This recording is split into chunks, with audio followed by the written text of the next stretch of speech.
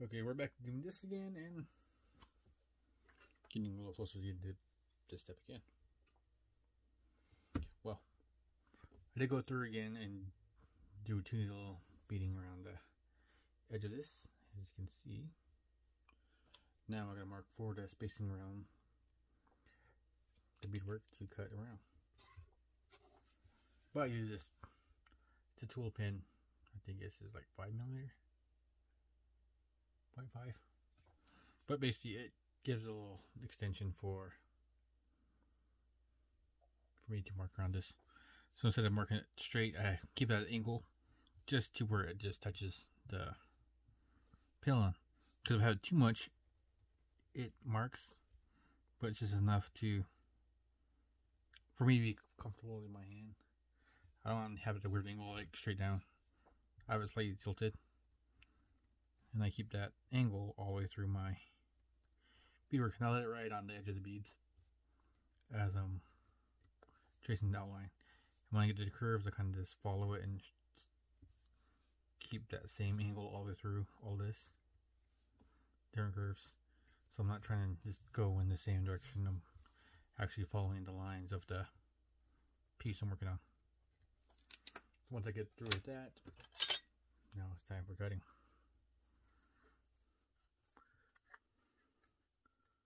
And yes, spacing is very important when doing this kind of edge and direct edge. Because if you have it too tight, then it's going to be bulgy. If you have it too much, then it's going to pull your piece. You want to have it roughly all the same around your piece.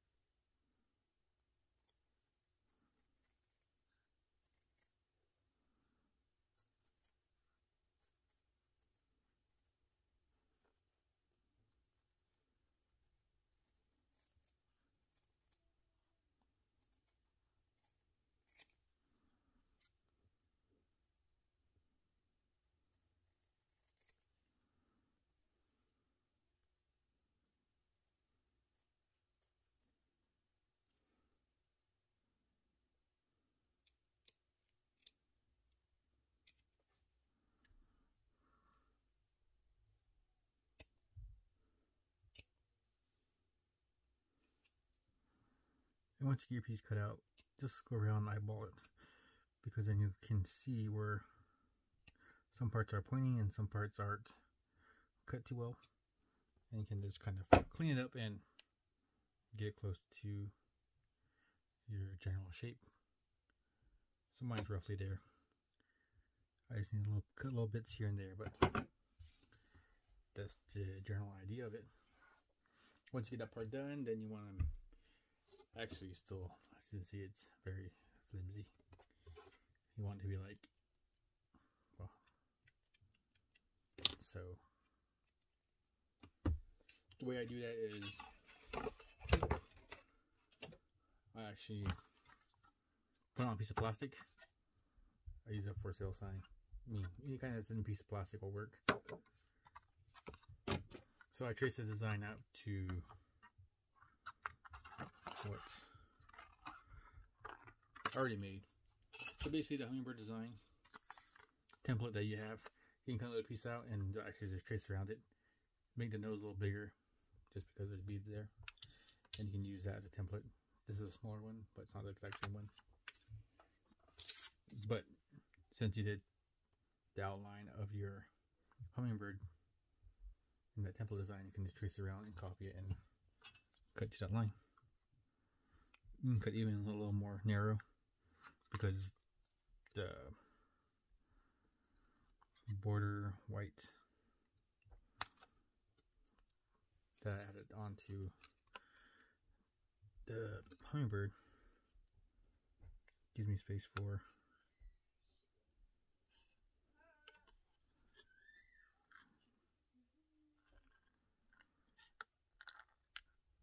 my needle to go through.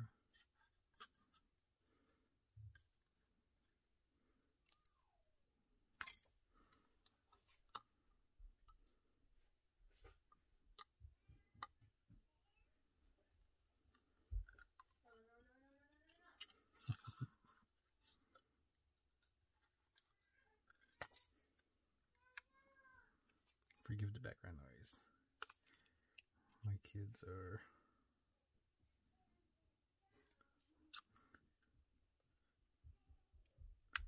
being quite loud. So, I mean, once you do the piece cut out, be sure to test it, make sure everything lines up perfectly or at least close to it. So for me, I'm trying to stay, see some of the green on the edges.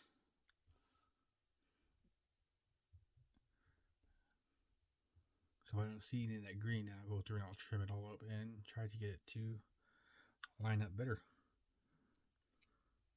And on top of the beads, this plastic is a little wonky and doesn't like to move a lot. So you can see I'm trying to hold it steady. But it wants to move around. That's why I try to hold it flat. So this is a better view. And I just mark out where I want to trim along. Just a general rough estimation of what I want to do.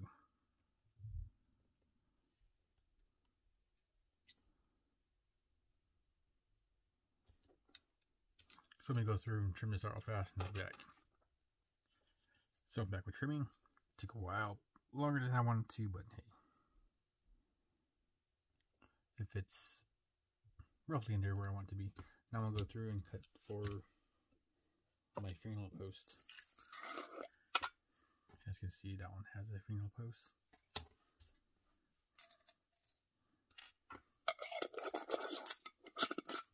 I keep all mine in jars, so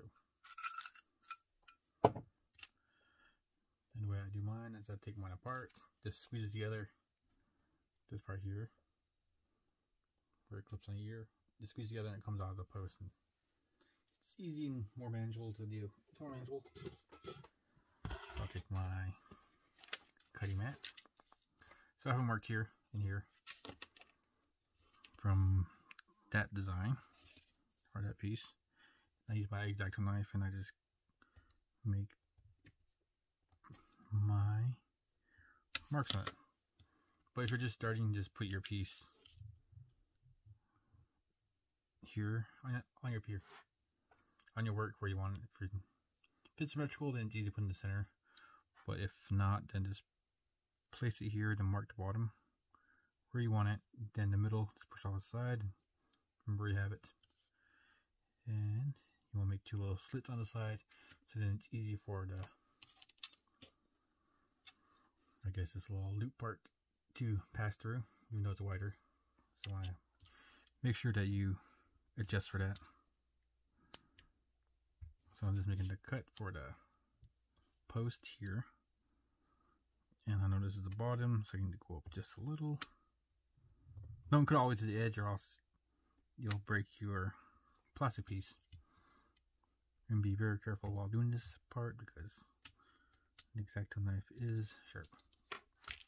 So I'm not pushing a lot, a lot on it. Just enough to score it and go through again.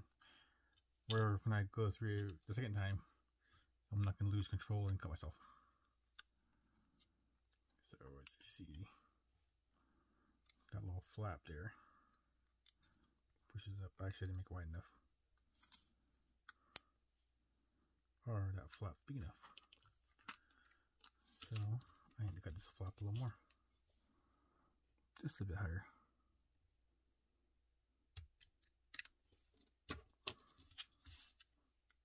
So there's a lot of adjustments here in this portion section. So there it is. And it fits in there. Then once it's glued down, this will actually be locked in place so it doesn't come off from the back here. It's more integrated together. Look at that. It doesn't fit that way. it's okay. All I gotta do is put it this way. Boom. And it fits this way. Ta-da! And all I do now is apply the glue, so let me get the glue and start doing this real fast. Try to show you even like non-cutting steps. Does apply your glue to the parts where you need it. Not too heavy, but you can add a lot to this back of the post and to the sides of it. So you can slide it around just a little and it'll help spread the glue around just a little more. And just center it the best you can.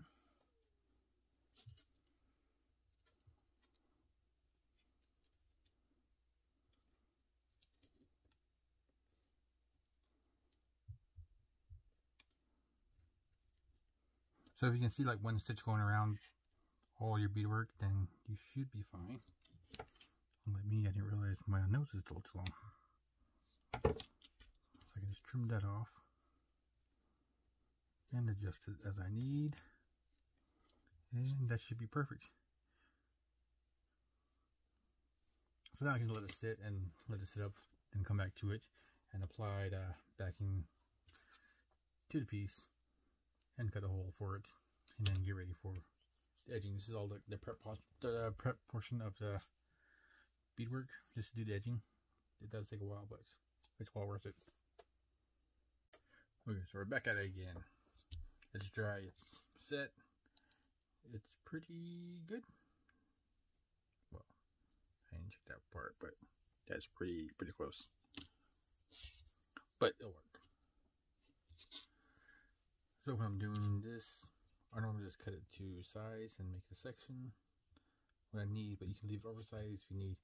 I'm using I either use like buckskin or chamois cloth, goat skin. That's what I use. But most people use um vinyl or leather or like textured vinyl or yeah, printed vinyl that has texture in the back different kinds. But I, I tend to stay natural and use a lot of organic material. This is my nature, but whatever you can use, you can use. But how I start and do this is I find this bottom part of the post where the, uh, the clip hangs onto, or goes onto, and make a little slit just as wide as this, which is just over a quarter inch. So make a little slit about that size my piece through it. As you can see, you won't make it too wide. If you make it too wide, then you'll have your, because it narrows at the bottom, it tapers off. Make it too wide, and there'll be like a big slit in it. And there'll be, you want closed as well. So I want to press it down and kind of keep it at the bottom. Or kind of be lined up with itself. So if you need to move your piece around to get that slit to line up with that little post part, I don't know what it's called. Then I roll this over like so. So I can do this in two methods. Cutting for this post. Either I mark both sides like so, which I normally do, and it tells me where to cut. And I put a little cut mark, a little slit into it. Or I use my little X-Acto knife and I hold against it. Then I slightly go over and make a little cut there. But either way works because it makes a slit exactly where it needs to be and it's quite tiny. And everything kind of lines up. So just push everything flat, make sure everything's lined out, laid out where you'd like it, where it's not bunched up and it looks nice, like so. And then I normally just fold it up to that little, the side of the post and I glue the bottom part just on the plastic portion. I try not to go over because once you try to glue, once you do press it down, the glue will actually spread out to the edges and it'll be more thin towards the edges. And you can feel the thickness of it. Up where it's high and low. And just press it down flat. Then pop this up, back out, and repeat the process on top. Just gluing on the plastic portions. Doesn't need much glue, but I kind of get carried away. Just like so, and be sure to cap your glue off. I'm using E6000 glue as well. And just bring it over and push it flat. And I work my pieces around the cut marks together and push them close.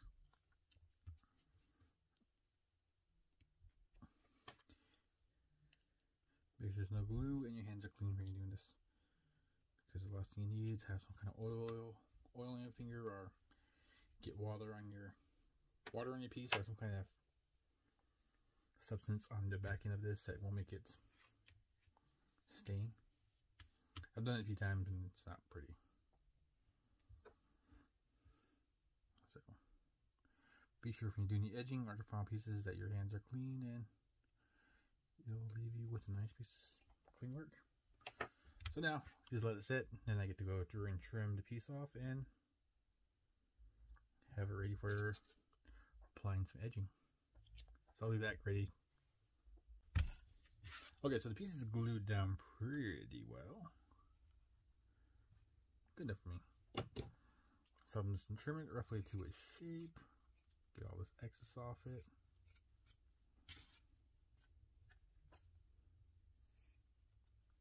Because even though this is leather, or most materials that you put your backing, you use as backing, does tend to flex and move around. This is no different. I mean, this is, well, move around a lot. But try to go as close as you can with this because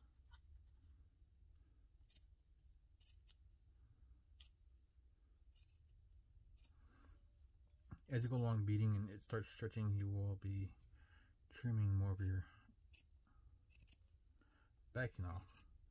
If you do something like buckskin or goat skin, some kind of hide. Oop, almost cut through the post.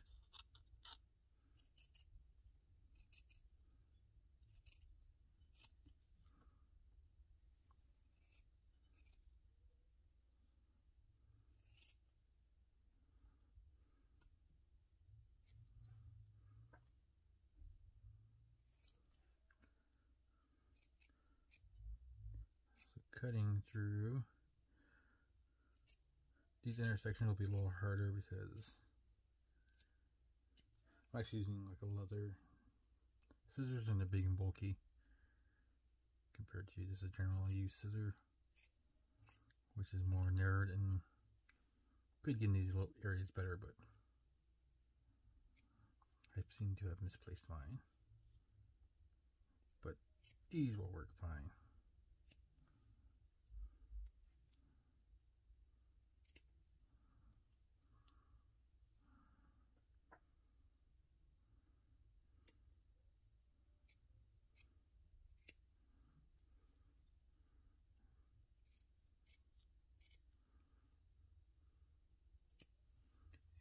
just like that. Oh, I don't know if I got on camera now. I was too busy focusing on getting this cut out and getting it worked around and done. I'm focusing doing something that my everything else around kind of just goes away and I get into Zen mode. But yeah, that's going to be the whole prep process of what I'm doing. There's a backing for the earring this in back. And all I gotta do now is start doing the edging process and that's four to five hour process and I'll try to explain that as much as I can during it. But in general it's well you'll see in the video